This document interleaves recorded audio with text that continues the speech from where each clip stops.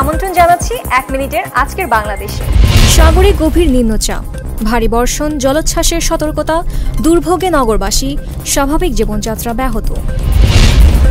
উপকূলবাসীর দুর্ভোগ চরমে, বরিশালের অভ্যন্তরীণ সব রুটে লঞ্চ চলাচল বন্ধ। টানা বৃষ্টিতে ডুবেছে চট্টগ্রামের নিম্নাঞ্চল, তলিয়ে গেছে বরিশাল নগরীর রাস্তাঘাট। দেশে করোনায় পাঁচ হাজার সাতশো একষট্টি জনের মৃত্যু, সুস্থ তিন লাখ বারো হাজার পঁয়ষট্টি জন।